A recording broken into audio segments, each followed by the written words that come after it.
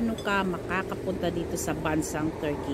Ano ang mga a-applyan mong visa, anong mga visa na binibigay ng Turkish government para kayo po ay makapunta dito sa Turkey.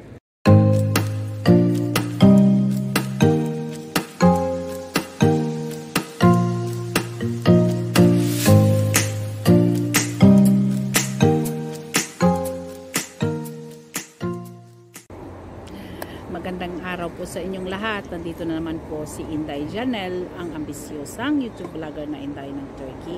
Sa araw na ito, pag-uusapan natin kung paano ka makakapunta dito sa bansang Turkey. Ano ang mga a-applyan mong visa, anong mga visa na binibigay ng Turkish government para kayo po ay makapunta dito sa Turkey. Ang video ito ay request po ng itang isa nating subscriber. Ang tanong niya, uh, kung paano ba makakapunta dito sa Turkey. Ano ang pwede niyang gawin, ano ang pwede niyang applyan. Pinaka number one pong visa na binibigay dito sa Turkey ay ang tourist visa. Working visa, uh, educational visa, family unification visa, or uh, ILE visa ang tawag ikaw po ay pupunta dito sa Turkey at magtutour po kayo, sasali po kayo sa tour group from Asia to Turkey, madali po kayong ma-approve noon sa Turkish Embassy sa Manila.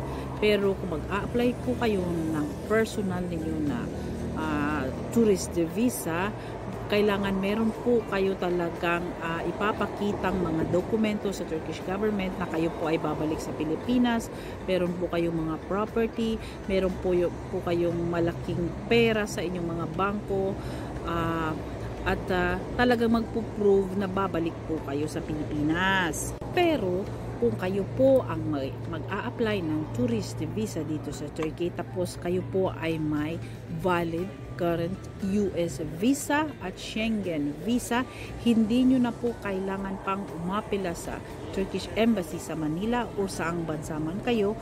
Pwede po kayong mag-apply through online sa uh, www.turkish.gov.tere. Yon, doon po kayo mag-apply online tapos mag aas po sila ng mga requirements at ipapasa nyo po yung kopya ng inyong current active Schengen visa or kung kayo po ay may US uh, visa, uh, multiple entry man or 10 years na entry or 5 years na entry, ayan, nagbibigay po sila agad within 24 hours ng electronic visa sa mga holder ng may US visa at Schengen visa. Kahit kayo man po ay sa Pilipinas, pwede po kayo mag-apply through online. Hindi nyo na po kailangan pang pumunta sa embassy para mag-submit ng mga dokumento. Para naman po sa study visa, pwede po kayong uh, dito kasi sa Turkey, usually dito meron silang mga scholarship para sa mga uh, kababayan natin sa Pilipinas lalo na sa Mindanao. May mga marami pong mga estudyante dito ng mga Bangsamoro government na pasok po sila sa foundation ng IHAHA. Tapos mga scholarship po sila dito, nag-aaral po sila ng bachelor's degree at master's degree. Nag-a-apply po sila sa online tapos na-approve sila, pino-forward na po yun ng uh, organization sa Turkish Embassy sa Manila ang kanilang mga visa. Ayun, pwede po kayong mag-apply din doon. Kung gusto nyo pong mag-aral mag dito para man po sa family unification kung ang magulang ninyo or ang inyong anak ay nandito sa Turkey, mag-a-apply po sila ng family unification or family visa sa inyo doon po sa Turkish Embassy sa Manila. Ito naman po ay kailangan talagang may appearance kayo sa Turkish Embassy at magsasubmit po kayo ng mga requirements doon para po sa uh, family visa. Para po sa mga requirements, pwede nyo pong mahanap ang mga ito doon sa Turkish Embassy sa Manila. Na nakasulat naman po ng English, nandun na po lahat ang mga kailangan ninyo. At ang bayad kung magkano kasi ang bayad it varies from every para naman po sa business trip or mga training or seminar or meron po kayong magsushoot kayo ng film dito, iba rin po yung visa nila. Mag-inquire po kayo sa Turkish Embassy sa Manila or sa any embassy kung saan kayo kung ano po ang required para sa visa mga ito. At para naman po sa katanungan ng karamihan, paano mag-a-apply ng working visa dito? Hindi po kayo ang mag-a-apply ng working visa ninyo sa inyong uh, sa Turkish Embassy sa Pilipinas, kundi yung employer po ninyo or meron kayong nahanap na employer dito sa Turkey, sila po ang mag-a-apply ng working, uh, sila po ang magpa-process ng inyong working visa.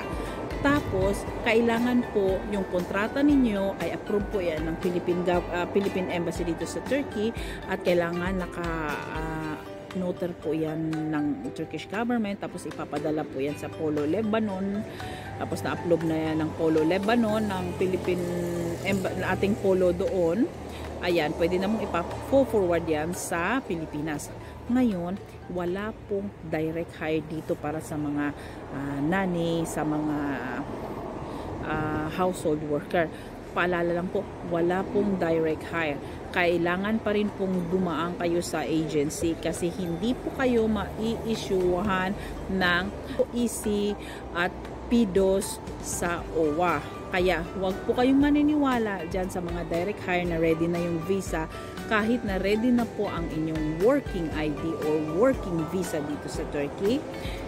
Hindi po kayo makakalabas sa Pilipinas dahil hahanapan po kayo sa immigration ng mga dokumento na approve po kayo sa POA at legal po yung paglabas ninyo.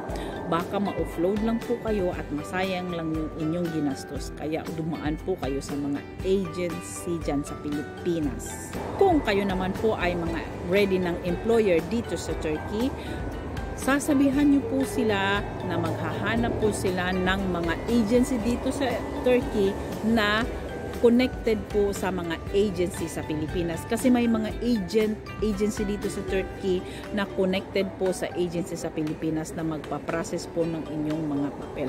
Paalala lang po, wala po kayong gagastusin dito kundi po ang mga employer po ang gagastos nito. Huwag po kayong dumaan sa mga agent dahil doble po ang singil nila yan sa inyo. Kayo kung kayo ay dadaan sa mga agent ng mga agency dito lalo na yung mga kababayan nating mga Pilipino meron po yan silang tinatawag na escort. Mag-e-escort po yan sa inyo doon sa air immigration para po kayo makalusot. Pero pag hindi po kayo makalusot sorry kasi meron pong ibang mga immigration officer na masyadong stricto. Matsambahan kayo ay sorry ang mga escort na ito ay ginagamit ng mga agency ito dyan sa Pilipinas, lalong-lalo na po sa Iloilo International International Airport sa Manila International Airport. Meron po diyang mga uh, kasabwat na mga immigration officer ang mga agency ito. Lalong-lalo na po sina, lalong-lalo na po sa Iloilo. 10 years ago pa po nagumpisa na itong Iloilo. Meron po silang mga sindikato dyan. Ang mga ito po ay sina... Aida, si Lorna at si Dodong. Pero yun naman pong nakakalusot dahil sa mga escort, escort dyan sa immigration sa Manila or sa ibang city dyan sa Pilipinas na may international airport. Pagdating nyo po dito, usually talaga yung employer na ginawa nila para sa inyo ay naglalast na lang yan ng 2 to 3 months. Pagkatapos niyan, tatanggalin na kayo doon sa naka sa binayaran ninyong employer at maghahanap naman yan sila ng susunod nilang mabibiktima. Kaya hanggang magsikap kang maghanap ng sarili mong employer dito na mag-aasikaso ng inyong working visa yung types ng visa na gigagrant ng Turkish government dito para sa tourist visa or sa business person ay meron pong single transit visa at double transit visa. Ito rin po ay tungkol sa mga business meeting, conference or seminar, festival or fair, sportive activity, cultural artistic activity, and official visit. Meron naman din po para sa official visa or assign of duty, lalong-lalo na po yung mga nagtatrabaho sa mga embahada, sa mga mag, uh, meron po silang mga post dito or meron po silang mga branch dito. Kaya yun ang tinatawag na official uh, visa. Limang other visa naman po ay para sa agri uh, archaeological excavation, documentary purposes, para po sa mga tour operators, para din po sa medical treatment or accompanied visa, for family unification din po. Higit sa lahat ang mga seafarers visa or po yung tinatawag na visa ng mga seaman. Kasi may mga seaman po na marami silang countries to countries na pinupuntahan kaya ang mga visa po nila ay seafarers visa. Para po sa tourist visa, usually po ang tourist visa ay 30 days lamang po para po sa mga nasa uh, third world country. Pero kung kayo po ay galing sa mga European country at mga mayayamang bansa sa Europe at nasa America at Central America, ang visa po na binibigay sa kanila will last 90 days. Para po sa mga third world country, 30 days lang po yan. Pag natapos na po yung 30 days na yan, kailangan kung gusto nyo magdagdag ng stay dito sa Turkey, kailangan nyo at least two, one week before, mag-a-apply po kayo ng extension for visa or mag-a-apply po kayo ng residence visa. Sa nag-request po ito na maganda sa videong ito, maraming maraming salamat po. Ngayon nagawa ko na po yung request ninyong video. Sa mga susunod pa pong video, pwede po kayong mag-request kung anong video na ang gusto niyo at gagawin po natin sa abot ng ating makakaya sa lahat ng nanood ng videong ito. Maraming maraming salamat po sa inyo. Masaya po ako ngayon kasi po galing po ako sa trabaho. Tapos, ngayon natapos na po ang uh, malakas na ulan kaya nakapag-video po ako dito sa tabi ng dagat. Ayan, lumulubog na po yung araw kaya nandito po ako sa gilid ng Mediterranean Sea. Ayan, nandyan po yung highway. Nandun ko po, park lang yung sasakyan ko doon sa taas. Tapos ngayon, pupunta na po ako sa bahay. Magbili muna ako ng tinapay.